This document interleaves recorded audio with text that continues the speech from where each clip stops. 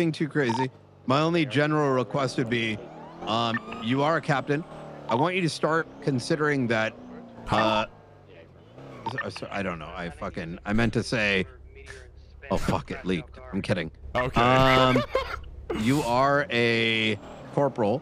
Uh, Uh, that's a word that was meant to come out of my mouth. okay. I want you to make it a part of your everyday that those who are actively on patrol, oh fuck, uh, that are actively on patrol, um, you know, on dispatch, give them a call, you know, if, even if you don't know who they are, and just see how they're doing and if they need anything. All right. I want you to start really owning that.